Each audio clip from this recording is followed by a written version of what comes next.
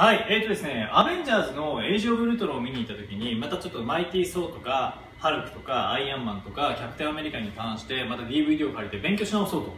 思ってるんですけども、今回超人ハルクを見て、実はその超人ハルクがなぜ超人足り得たのかという時に、ガンマ線を浴びたっていうところが出てきたんですよね、ガンマ線を。で、別の動画ですでに、あのもともとお父さんが研究者でそのお父さんの実験で使われていたものを体に注入していたものが遺伝で受け継がれていてさらにそのハルク、まあ、ブルースですけどブルースが自分で研究していた細胞も一緒に取り込んだことによって奇跡的にねあの超人にななれたという背景を伝えたんですけども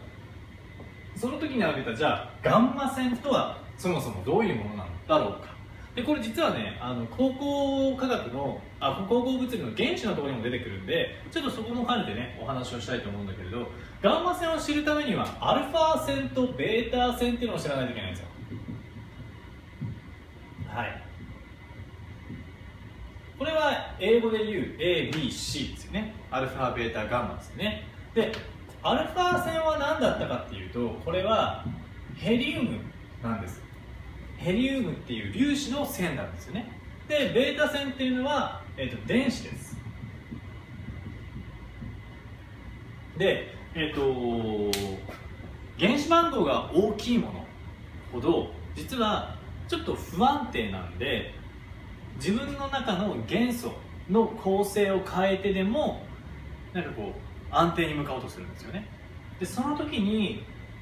あの質量数4まあ、陽子2のヘリウムを出すことによって射出することによって、えーと、自分の元素の構成そのものを変えるっていう反応が起こります。これが、えーと、アルファ崩壊っていう言い方をするんですけど要は元素が勝手に自分で崩壊していくわけですよ。で崩壊するときにヘリウム粒子を出しちゃうわけです。飛ばしちゃうわけですよ。でそうするとアルファ崩壊した時にヘリウムが出るんで一瞬バランス崩すじゃないですか。バランス崩すんだけどもそのバランス崩したものが安定化される過程で余計なエネルギーをまた外に出すっていう作業が必要なんですよね。その時に出るのはガンマ線なんですよ。ガンマ線。ちょっと難しいですかね。例えばベータ線じゃあベータ線は何かっつったら、まあ、さっき言った電子なんですけどもこの電子がどこから出てくるかっつったらこれは中性子から出てきます。もちろんあの陽子が余計に入っている元元素に関しては陽子から電子が出てくることもあるんだけれど基本的には中性子の中でマイナスとプラスができちゃって電子がボフと中性子の中から飛び出してくるのがベータ線と言われています。でこっちの電子を出しながら崩壊していく方あのやり方をベータ崩壊という言い方をします。でそれぞれヘリウム粒子を出したり電子を出したりしながら自分の中の元素構造を切り替えてでも安定に向かうでその安定しようとする中で1回元素を減らすので数を変えちゃうのでバランス崩すんだけどそのバランスをまた安定化させるために余分なエネルギーもポフって外に出しちゃうっていうその途中に出てくるのが実はガンマ線と。いう話なんですよね。でガンマ線と似たものにこういうのもあります。X 線。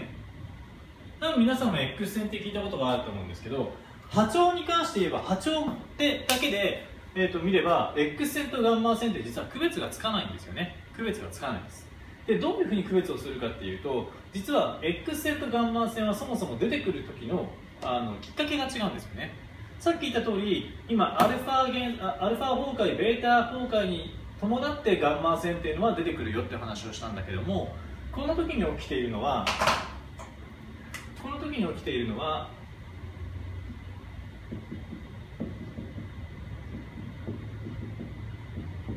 元素変遷なんですね。まあ、ちょっとかっこつけて言いましたけど要は元素の構造が変わるっていう話です。元素の構造が変わる。えーと、イオンっていうのはどういう構造をしてたかというともともとなんかここに、まあ、原子核があって、えーと、この周りにこう電子の、ね、核があってそこにこう電子が入ってますよね。でこの要は元素変遷というのはここなんですよね。ここの中身がバランスを崩した状態から、まあ、冷気状態って言うんですけど冷気状態から規定状態基本の安定状態に戻る間に余計なエネルギーを出すという目的でできたのがガンマ線だったと。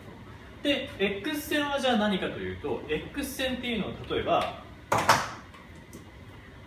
えーと、イオンの構造はこういうふうに核で表現される、まあ、どっかで見たことあると思うんですけど、えーと、何層にもなっているっていうのは分かっています。で何層にもなっているということはどういうことかっていうと実はここの間って何もないんですよね。何もない。綺麗にこのこの場所この場所この場所に電子がいるわけですよ。ということはイオンは原子核を中心に飛び飛びのエネルギー値しか持てないっていうことが分かってたわけですねで飛び飛びの値しか出ないのでここら辺に電子があることはないんですよ。例えばここに空席ができるとするじゃないですか。空席ができる。で例えば、まあ、こういうふうになっててでおっとここに空席ができたぞ。この時に、まあ、電子ここら辺ぐるぐる回ってるんだけども、まあ、こいつがね消えてさここにあるとするじゃんか。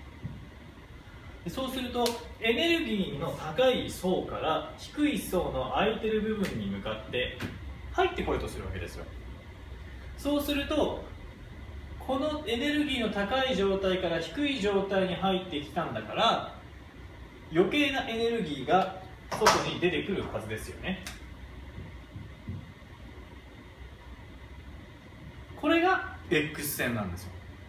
なのでこっちはえっ、ー、とまあ角外電子原子核の外にある電子って意味なんだけども角外電子変異変遷。はい。波長自体では区別できないけれどガンマ線というのは元素の構造の変遷の間に出てくるもの。でこっちは電子が高いエネルギー値から低いエネルギー値にこう収まろうとするときに余分なエネルギーとして出てくるものが X 線っていう。ちょっとね出てくるきっかけが違うというところなんでそこも気をつけてください。この辺もあの高校物理の範囲なので。で、えーと、このようにねアルファ崩壊。まあアルファ崩壊というのはアルファ線が出てくる崩壊のこと。ベータ崩壊とはベータ線が出てくる崩壊のこと。アルファ線とはヘリウム粒子でベータ線の場合は中性子から飛び出してきた電子。もし陽子が余っているような元素であれば陽子から出てくる電子が、えーと、出てきます。